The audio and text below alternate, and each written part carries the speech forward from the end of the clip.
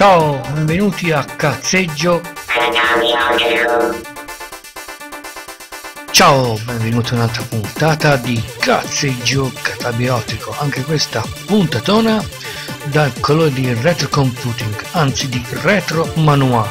Sì, questa puntatona andremo a fare un veloce viaggio nel tempo, nel mondo dell'informatica della Gran Bretagna andando ad esplorare il manuale utente del BBC Acorn Master 512, ZX Spectrum Sinclair e il manuale Amstrad CPC 464. Non perdiamo tempo e tuffiamoci subito in questa avventura spaziale.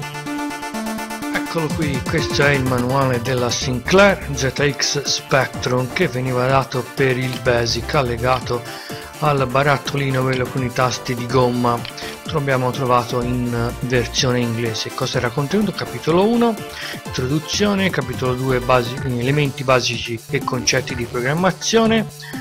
Uh, la, la, if i cicli il gossip read data restore le espressioni le stringhe funzioni matematic funzioni matematiche, numeri casuali, vettori e matrici, condizioni AND or NOT, codice dei caratteri e caratteri speciali, utilizzare print e input, utilizzare varie combinazioni di diciamo flash, inverse, bright e quant'altro, la grafica, poi abbiamo eh, pause, i beep, i sonori, l'utilizzo della, diciamo, delle periferiche per salvare le informazioni, la stampante, altri equipaggiamenti che è possibile mettere sullo Spectrum, prese di entrata e uscita, la memoria, il sistema delle variabili, l'utilizzo della macchina e eh, varie appendici. Sono circa 200, sono circa 177 pagine, 221 circa no 217 pardon andiamo a bomba a vedere questo manualino. Com'era? Ok il link non ve lo do perché eh, se volete lo potete trovare in descrizione. Concetti basici di programmazione va bene. La list. Capitolo 3 di, si, si spiega la if con lo stop. Vabbè poi abbiamo il capitolo 4 i cicli for next con l'aggiunta di to e di step va bene. Capitolo 5 le subroutine go sub e return. Data read data e restore va bene. Capitolo 7 le espressioni. Capitolo 8 le stringhe e la sua manipolazione capitolo 9 le funzioni def e quant'altro. Poi nel 10 abbiamo le funzioni matematiche quelle che erano già presenti nel basic. Capitolo 11 numeri casuali. Nel 12 abbiamo i vettori e poi probabilmente anche le matrici le condizioni and or not. Capitolo 14 il set dei caratteri con le istruzioni speciali. Pick e poke.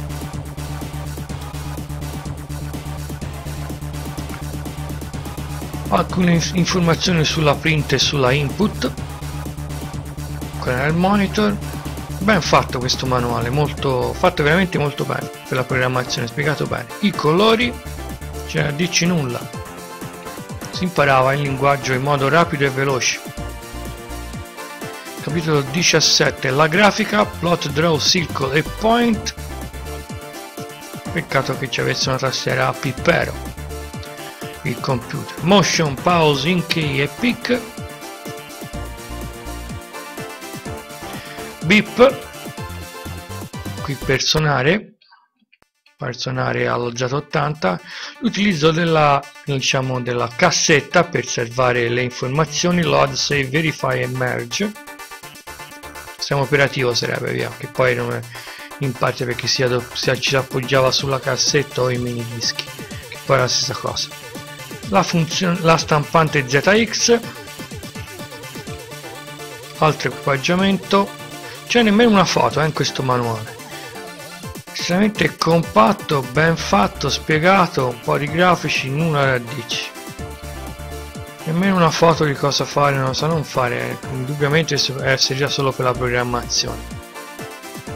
Perlomeno si dava per scontato che gli utenti fossero questo era il basic che veniva nucleato per tutti i comandi si dava per scontato che gli utenti già fossero a un determinato livello oltre la soglia di un certo livello. Alcuni esempi di listati dati. Era meglio secondo me darli su cassetta o micro drive meglio su cassetta. Codici binari esadecimali vabbè un indice. Mi sa che poi siamo giunti alla frutta. Sì, beh, il manualetto onesto, sincero nel 1983 prevedeva già che gli utenti fossero già ad un determinato livello per maneggiare la macchina ma si spiegava il basic e l'utente praticamente il basic lo imparava. Nulla da dirci. Ecco il manuale dell'Amstrad CPC46K4 della Jackson, manuale d'uso, è stato tradotto in italiano per diciamo eventualmente probabilmente per un certo numero di pezzi che finirono venduti anche in Italia ma in modo minore perché questo computer probabilmente non fu mai pubblicizzato mai visto sulle riviste se non in modo marginale. Andiamo a vedere cosa c'era in questo manuale. Per i principianti, avvio, registratore a cassetta, introduzione al basic variabile operatori e dati, introduzione alla grafica, introduzione al suono stampante joystick, guida sintetica di riferimento, al basic Amstrad, ulteriori informazioni di programmazione, interrupt e una serie di appendici. Ok, andiamo a bomba veniamo a vedere cosa c'era. Ecco si introduceva si, si, attaccava il computer alla monitor e qui si dava la spiegazione di praticamente di cosa c'era. Questo manuale dell'84 quindi tenete presente. Monitor a colori va bene ok. Il joystick l'utilizzo delle cassette fatto enormemente bene questo, questo manuale viene spiegato con le varie figurine in bianco e nero i bambini piccini ma comunque le cose si capivano con i vari comandi. Ok istruzione delle parole chiave CLS qui vi veniva spiegate con codice, codice per codice con esempi in modo praticamente da introdurre i lettori praticamente alla programmazione del basic grafica e modalità del suono c'erano i colori tabella dei colori 26 che non erano nemmeno pochi, eh, tanta roba. Va bene. Ti veniva spiegato altre informazioni, colori lampeggianti, programmi dimostrativi per esercizietti, grafica. Va bene. Plot, i vari comandi di plot, new, origin, gossip e return. Il suono, come fare con il suono, qui c'erano già comandi particolari perché questo aveva il chipset per il suono e anche per la grafica quindi era un bel computerino. Avvio il monitor a colori monitor a fosfori verdi modulatore tv alimentatore. Va bene passiamo oltre rapidamente vediamo un po' cosa c'era carattere andiamo al programma i listati. Correzione dell'uso del secondo cursore. Registratori a cassette. Ok come adoperarlo e cosa fare? Vabbè qui veniva spiegato in modo decisamente molto approfondito. Quasi meglio oserei dire del, del manuale del Commodore 64 fatto con cura vediamo un po' Ora, forse quasi meglio magari una parola un po' grossa però diciamo che per le persone che non avevano mai visto un computer queste venivano acculturate prese per mano dal manuale e spiegato in modo veramente buono. Anche se il manuale forse il Commodore 64 era decisamente più tecnico con un sacco di risorse in più aggiuntive di questo. Comunque vediamo un po' siamo alla if i vettori data indubbiamente la programmazione del basic si imparava. Introduzione alla grafica. Questa è la grafica più elevata. Cursore grafica e disegno di linee con esercizietti, le finestre, introduzione al suono, il volume, canali di suono altri suoni sequenze dei comandi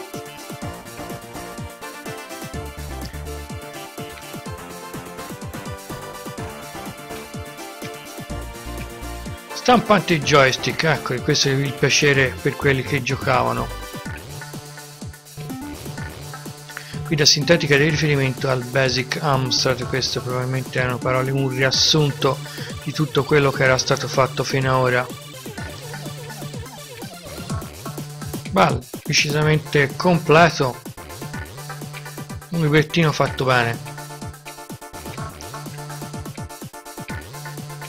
tenete conto che è del 1984 se non mi ricordo male o 85 vabbè finiamo un po' accidenti quante ce n'è?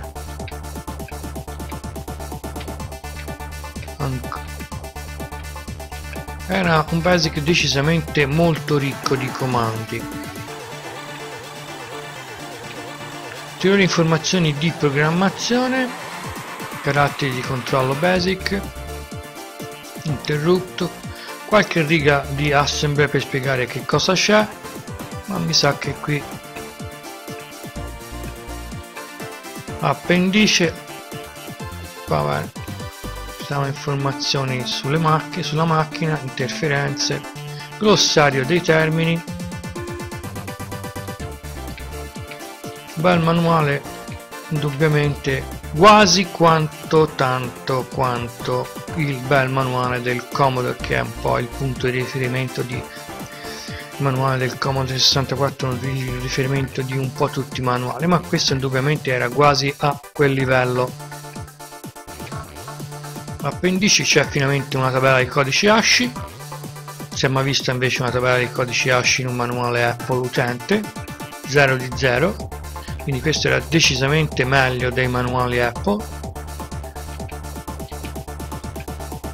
Introduzioni per l'uso del CPC per utilizzatori esperti vediamo un po' scelta dei colori cosa c'è in più mappa della memoria si incomincia a scendere a livello un po' più basso poi un appendice che spiegava cosa c'erano i vari spinotterie sul 464 la, la pedinatura degli spinotti schermo di destra, destra e finestra modo 80 colonne periodi di note e toni, bella tabelle degli sviluppi della musica, codice parole riservate e poi un indice, poi mi sa che siamo arrivati alla fine. Sì, quindi di sicuro un bel manuale d'uso, quasi tanto quanto quello del Commodore 64 forse un pochino meno quello del Commodore 64 obiettivamente aveva molte più informazioni tecniche per approfondire e sviscerare la macchina fino in fondo. Però questo era decisamente un manuale ottimo decisamente superiore rispetto ai manuali utenti della Apple che erano veramente orrendi degli obrobi praticamente dei brochure per vendere altra roba vabbè passiamo oltre Acorn Master 512 manuale utente, questo del 1986. Andiamo a vedere questo, manu questo manuale di questo computer. Vedete presente che questo era già sotto praticamente la patrocinio della Olivetti o perlomeno stavano quasi per comprarla. Introduzione, utilizzo del gem, gem point, gem right, gem desk, output guide, appendici, glossario. Sì, incredibile ma vero cosa si scoprirà? Si scoprirà niente un po' di meno che c'erano delle finestre su questo Acron sì perché poi dopo successivamente lo stesso sistema operativo verrà mutuato in, in denominato Arthur.1. sul praticamente l'Archimedes e quindi di conseguenza quello che vedete qui questo per ora funzionava su un computer ad 8 bit ma poi successivamente sarà portato né più e nemmeno su il primo RISC dell'Archimedes. Questo è il manuale del, della versione evoluta dell'Acor Master 512 che aveva già una dotazione di finestre quindi praticamente odorava fortissimamente di Macintosh e quello che poi dopo sarà lo ritroveremo anche praticamente nella versione Amiga. Tutto questa versione finestrata sull'Amiga 1000 né più e nemmeno eccole qua questo però probabilmente era a colori ora vedremo. Non saprei nemmeno dirlo nemmeno io. C'era l'orologio la calcolatrice. Introduzione al Genpine per fare dei disegnini in bianco e nero.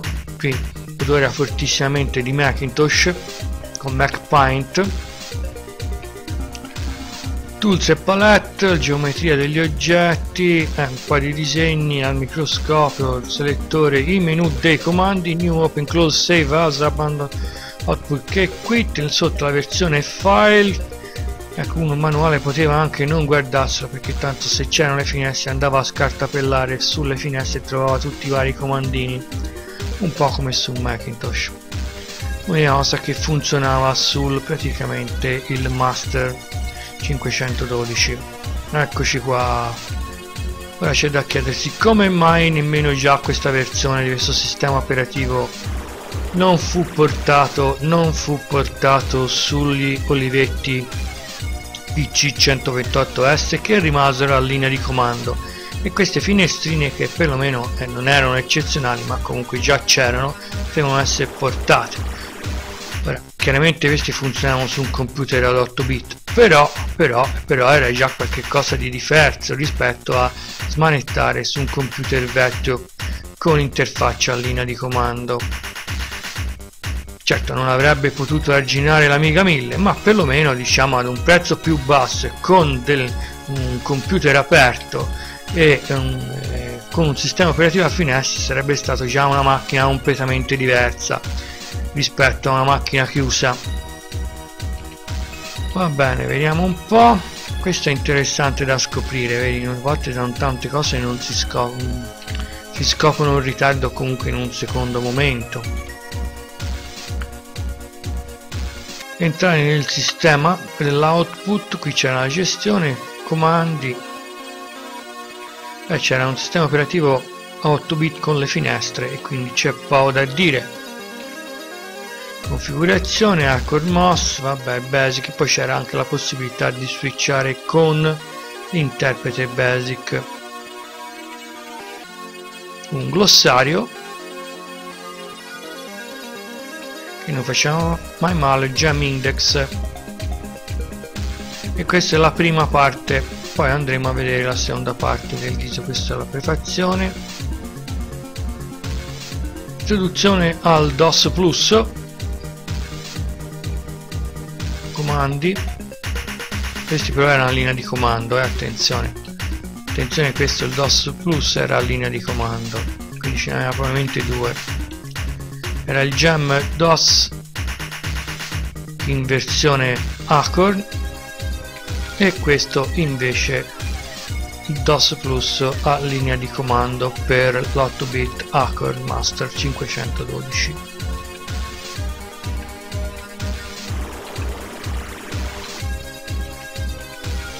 è la ragione perché poi il gem DOS finì.